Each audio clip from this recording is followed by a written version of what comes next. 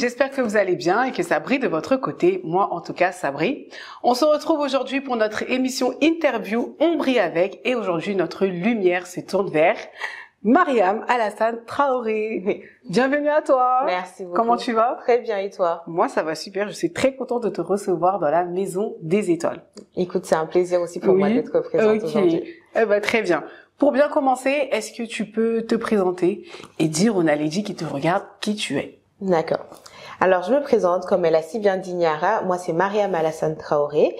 Je suis une jeune femme musulmane, fan d'organisation, euh, très tournée vers euh, l'humain. Je cherche en fait toujours le meilleur à ressortir, faire ressortir le meilleur euh, parmi les, les, les personnes que, que je rencontre j'ai un objectif fixé dans la vie. Pour moi, c'est vraiment de rendre ce monde meilleur et que ce soit un monde de, de paix pour moi et les personnes qui m'entourent et toute l'humanité finalement. Oh ben c'est bien, c'est un très, on commence bien, hein, c'est un très très beau message déjà. Mais est-ce que tu peux me retracer ton, ton parcours? Qu'est-ce que tu as fait? Ok. Alors moi, euh, je viens du Mali, je suis malienne. D'accord. Donc euh, j'ai là-bas aussi? Oui, exactement. Ok. Donc moi j'ai eu mon bac en 2015. Mhm. J'ai fait un baccalauréat scientifique. Mhm. À l'issue de ce baccalauréat, il fallait choisir finalement en fait ta, voie professionnelle. Mhm. Donc euh, moi à l'époque, je savais pas concrètement vers quoi me diriger. Donc ce que j'ai fait, c'est que j'ai choisi une CPGE scientifique. D'accord. J'ai choisi d'intégrer les prépas scientifiques parce que je me suis dit, je me donne deux ans pour réfléchir. Mhm. Donc j'ai fait deux ans de classe préparatoire. Ensuite, euh, j'ai intégré une école d'ingénieur. Mhm. Euh, pendant mon parcours, en fait, euh, la question est venue plusieurs fois. Qu'est-ce que tu veux faire concrètement dans une école d'ingénieur C'est compliqué hein, de savoir ce Exactement. Veut faire, En fait, à chaque fois que j'avançais, je mettais un pied devant. C'était bon, bah ça, ça me plaît bien, mais mhm. je vais pas trop me spécialiser. On verra bien par la suite ce que ça va donner. Et euh, j'ai continué comme ça et j'ai fini par choisir en fait la cybersécurité et aujourd'hui je suis ingénieure en cybersécurité. Mais pas que. mais pas que. Mais pas que. Justement, on va venir euh, mm.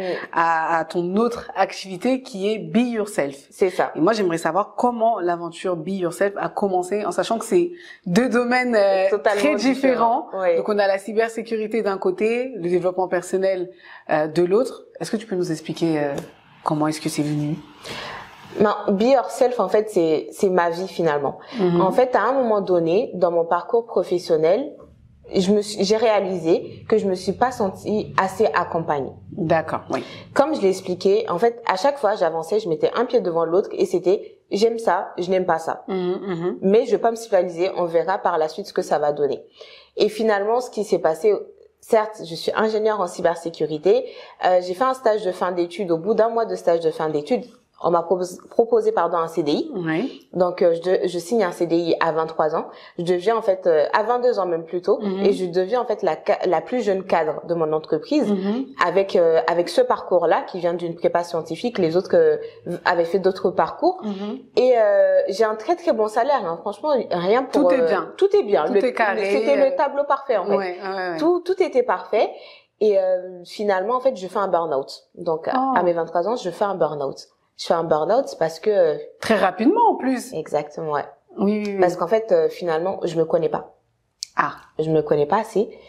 Euh, je je laissais pas. En fait, j'étais exposée à tout finalement. Mm-hmm. Certes, c'est ce métier-là. Il me plaît. J'aime la cybersécurité. Je veux pas dire le contraire. Mm-hmm. C'est vraiment un, métier, un domaine qui me passionne mm-hmm. parce que j'apprends énormément et j'aime apprendre de nouvelles choses. C'est important pour moi d'apprendre de nouvelles choses je continue à progresser, mais euh, le monde du salariat, euh, c'était une première On va dire la routine qui s'installe. Exactement. Et euh, le comportement des gens, euh, cette jalousie, la méchanceté, l'hypocrisie. Mm-hmm. En fait, ce sont des mots qui font pas vraiment partie de ma vie que je veux pas en fait. C'est tout ce que je, je rejette.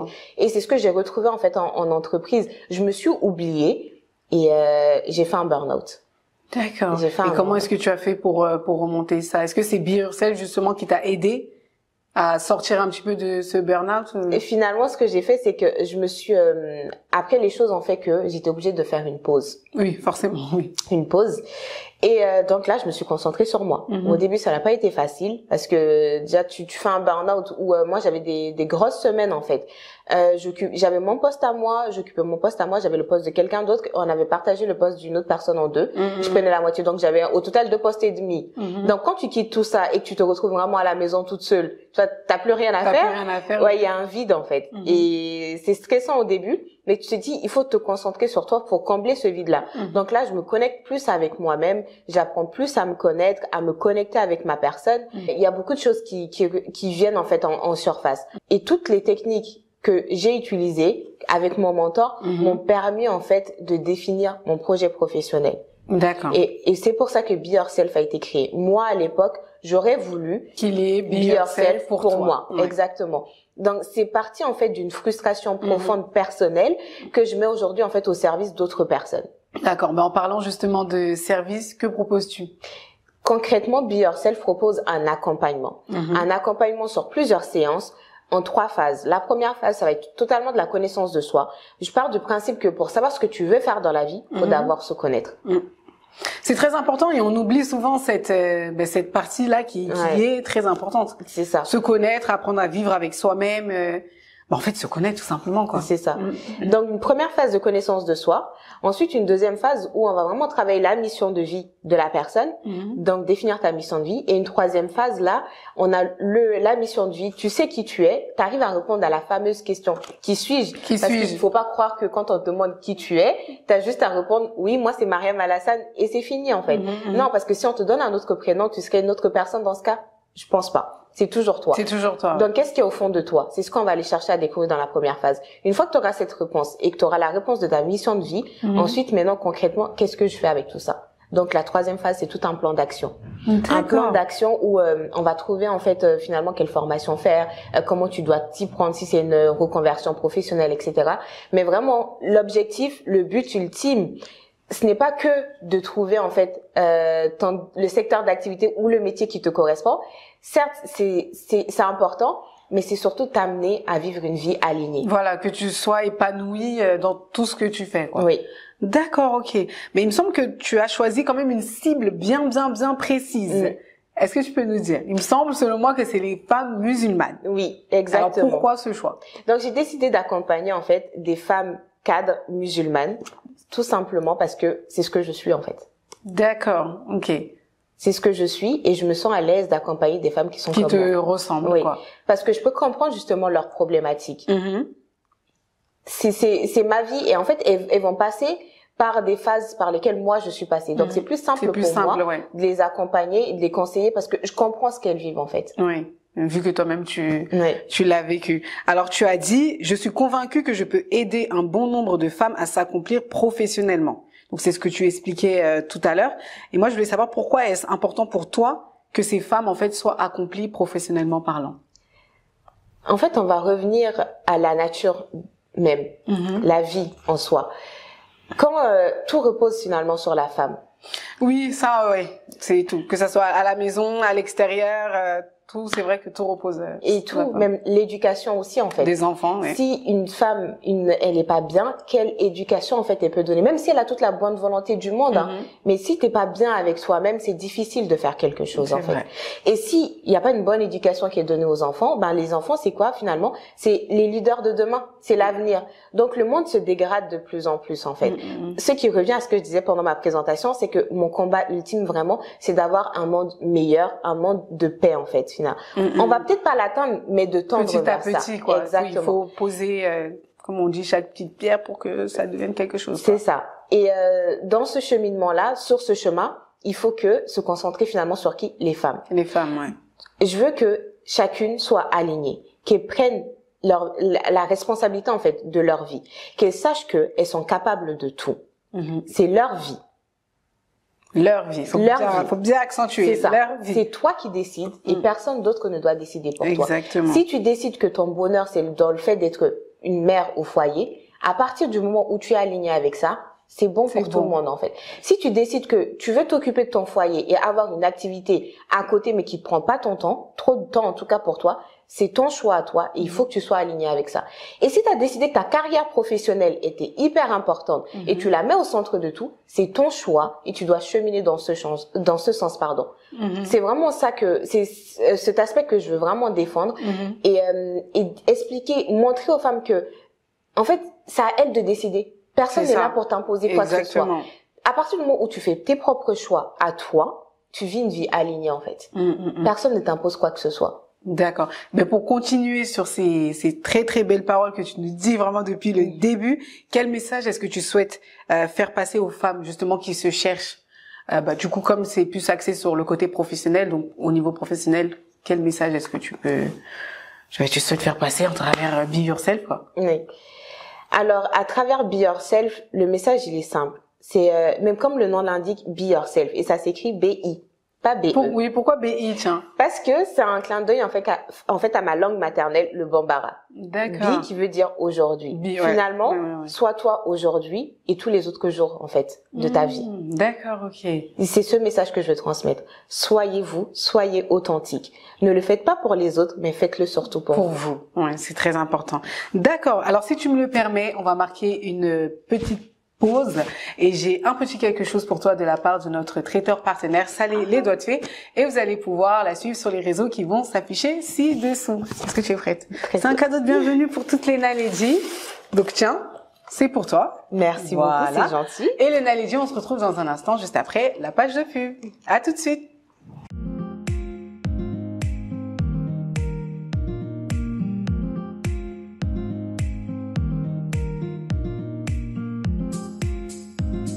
Avec Salé les doigts de fée, vos desserts seront sublimés.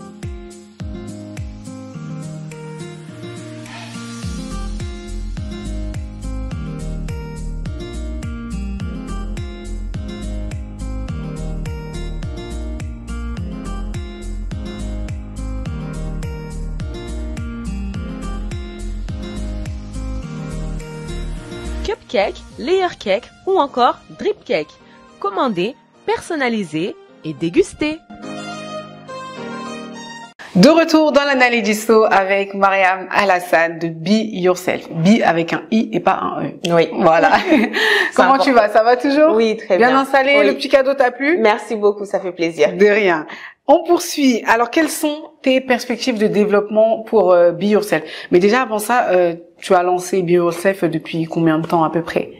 Oh, c'est assez récent. C'est récent. C'est récent. Ça date de la rentrée euh, 2021. 2021, ouais. Septembre 2021. Et comment est-ce que tu aimerais euh, développer ça? Alors moi, je suis quelqu'un en fait qui euh, qui a du mal à avoir des visions sur de, de court terme. Donc je suis très très loin à chaque fois dans toutes mhm. mes visions. La la vision vraiment euh, sur de long terme, c'est de pouvoir intervenir, d'avoir mon cabinet en fait, un cabinet mhm. vraiment de recrutement entre la l'Occident en tout cas et l'Afrique. Mhm. Mais avant ça, il y a d'autres choses.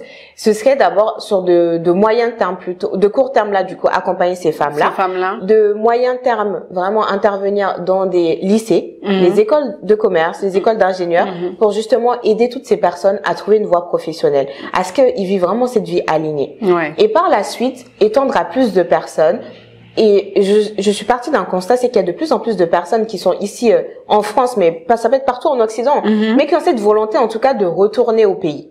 Oui. Mais le problème, c'est quoi? Ouais, je vais retourner, mais je vais faire quoi? Voilà. Surtout qu'on n'a pas, enfin, malheureusement, il n'y a pas forcément une bonne image euh, du pays et de l'Afrique en, voilà, en général. Donc, c'est ça. C'est un frein, on va dire. Oui, et exactement. Et il y a des, des personnes aussi, des chefs d'entreprise qui se retrouvent en Afrique, qui veulent vraiment recruter, mais des personnes qui ont le sens du travail, en mm, fait. Mm, mm, Comme euh, on l'inculque ici, en fait, en France, en Occident même de manière générale. Donc, l'idée, c'est de faire un pont entre ces chefs d'entreprise-là et des personnes qui ont trouvé leur voie et qui sont vraiment alignés, qui savent vraiment que c'est ceux qui, ceux qui veulent faire de, de leur vie, en fait. Ah, euh, si jamais ils le souhaitent, en tout cas, à, aller en Afrique, pouvoir trouver euh, du travail. Du travail. Ok. Et au niveau de tes passions, parce que tu, as l'air d'être quelqu'un qui fait beaucoup de choses. Oui. Est-ce que tu as des passions dans la vie? Oui. Euh, alors moi, euh, j'aime beaucoup euh, des films, les séries policières. Mhm. D'accord. Je suis une grande fan de Esprit criminel. D'accord. Tout ce qui va être en fait séries, séries policières, enquêtes, les crimes. Voilà, les crimes, oh, on les est dans La même team. Moi aussi j'aime beaucoup.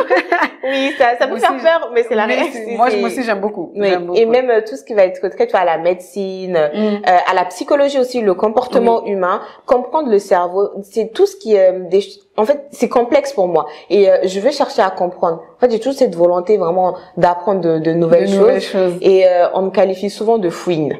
Ah bon? Oui, je, je l'accepte. Parce que je veux toujours chercher à comprendre. Ok, d'accord. Non, mais tu as raison. Enfin, Moi, je dirais pas fouine, mais peut-être de la curiosité en fait. Ouais. Et cette fois-ci bien placée parce que tu, tu veux comprendre, tu Mm. cherches à comprendre. Ouais. Tu vois. Donc, Et euh, d'ailleurs, une anecdote qui me vient là tout de suite à, l'esprit quand tu dis curieuse. Je me rappelle en seconde, on avait en fait un TP de, de chimie. mhm, On devait fabriquer de la du savon. mhm. Moi, j'étais super contente et j'étais excitée, mais vraiment, j'ai pas dormi la veille parce que j'ai dit on allait faire du, savon, et tout en laboratoire et c'est mon savon ce que moi j'ai fabriqué. Mhm. Et j'arrive, on, le fait le TP, donc moi je suis à la lettre tout ce qui est écrit. Sauf que le résultat, je vois, c'est de la gelée. Mhm. Moi, le savon, je l'ai pas imaginé comme ça. Ouais, ouais, ouais. Je dis, mais là, je suis pas sûre et tout, je comprends pas. Et en fait, en amont, on avait toute une phase de prévention. On va utiliser de la soude, faut faire attention, même c'est de la soude du lait, mais vous devez pas faire ça, etc. Mm, mm, mm. On nous a donné plein de conseils. Donc moi, j'arrive, mon résultat, je vois de la, de la De la gelée. Je comprends pas. Je dis, non, le prof, soit il a pas compris, soit tu t'es trompé. Ouais, ouais. Donc, qu'est-ce que je fais? Ben, je plonge mon doigt dedans, en fait, parce que je veux comprendre si c'était vraiment du savon ou pas. Et euh, ça a rongé tout mon doigt. Mais ah, parce qu'ils ont dit de de, ben, de Ouais. pas toucher Oui, avec les ça. produits. Oui.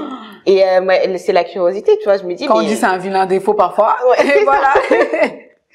D'accord. Et où est-ce qu'on peut te suivre, euh, suivre l'aventure Be Yourself? Alors sur euh, les réseaux sociaux, notamment sur Instagram et sur mon site internet aussi, beyourself.fr. .fr. Ok, très bien. Alors l'interview va toucher à sa fin et pour bien la clôturer, je pose une petite question neutre. Alors, si je te dis étoile, quelle est la première chose qui te vient en tête? Briller. Pourquoi? Parce que euh, une étoile, ça brille Ouais. et ça montre la lumière Mhm. pour atteindre les objectifs. D'accord, très bien Léna Lydie, j'espère que vous avez bien euh, noté cette réponse. Ben, pour clôturer, qu'est-ce qu'on peut te souhaiter? Ben, beaucoup de réussite Oui. et euh, j'espère accompagner énormément de femmes De en femmes. tout cas à trouver leur voie professionnelle. Je me sentirais, euh, sentirais apaisée, Oui. euh, alignée de savoir vraiment qu'il y a des femmes aujourd'hui qui font le métier de Qui leur font rêve. le métier de leur rêve. Ok, ben sur ces mots, je te remercie. On répète les réseaux sociaux, donc c'est beyourself.fr, le ça. site internet, et be yourself, donc BI, hein. attention, BI, sur Instagram. De toute façon, on va tout afficher. Merci infiniment pour ces mots. C'était un réel plaisir de te recevoir dans l'analyse ISO et d'avoir partagé euh, un message d'encouragement. Donc merci. J'espère que tu as apprécié. Oui, beaucoup. T'as passé un bon moment. Un très bon moment. Oui. J'aimerais bien partir avec une citation, si tu me le permets. Alors, je vais vous partager une citation de Denzel Washington que j'aime beaucoup. Je connais, je peux vous citer aucun film de Denzel Washington, mais c'est un personnage que j'apprécie beaucoup, Mhm, de par son parcours justement professionnel. Et euh, la citation, c'est sans engagement, vous ne commencerez jamais. Et sans endurance, vous n'allez jamais finir. Le chemin est dur et ça va être lent, mais tenez bon. La réussite elle est proche. Merci. T'es vraiment inspirante, hein. Merci. Non, vraiment, c'est, tu, je sens que tu dégages vraiment de bonnes ondes et, et vraiment, j'espère aussi que tu accompagneras beaucoup, beaucoup de femmes parce que être une femme, ce n'est pas facile et être une femme musulmane encore moins. Mm. Donc, euh, j'espère vraiment que tu pourras faire de belles choses avec euh, ton projet qui est magnifique. En tout cas, voilà, tu as tous mes encouragements, tout mon soutien et vraiment, je te, je te félicite. Donc, pour clôturer, même si tu as mis une situation, est-ce que tu as un dernier mot à dire, euh, Onaledi? Bah, continuez à briller et faites briller euh, votre étoile. Ok, super. Ben, merci encore une fois. Merci Et à toi pour l'invitation. Avec grand plaisir. Chez nous, on ne se dit jamais au revoir. À ton avis, qu'est-ce qu'on se dit? À bientôt. Voilà, une nouvelle Naledi qui fait son entrée, vraiment une entrée phénoménale. Merci encore une fois. Merci beaucoup, Et puis, ben, on dit au revoir à Naledi. Oui. À la À prochaine. la prochaine.